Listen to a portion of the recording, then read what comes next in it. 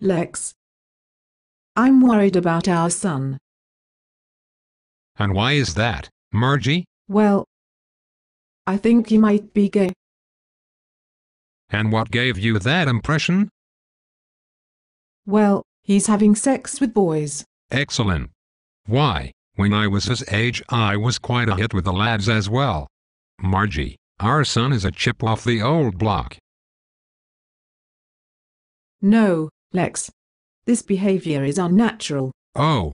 And what do you mean by that? I mean that if nature had intended men to lie with men, nature would have shaped their biology to be able to procreate.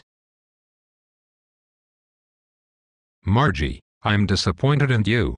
You have just committed the fallacy of hypostatization, or reification. Lex, what in the Sam Hill are you saying?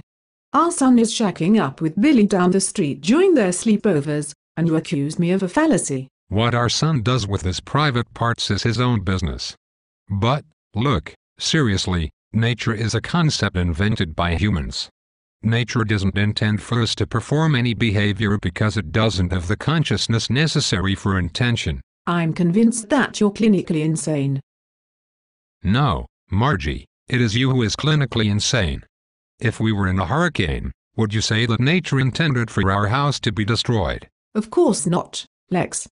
I'm not stupid. Well, wife of mine, you're seriously making me doubt that. Whereas if you destroyed our house, it's likely you would have intended to do so for the insurance money.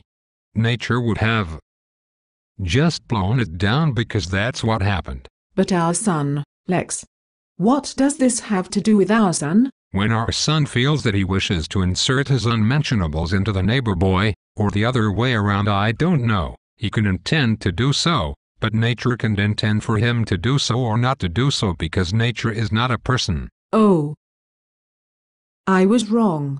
Maybe I should just buy our son some condoms instead of making him feel bad about what he does with his body.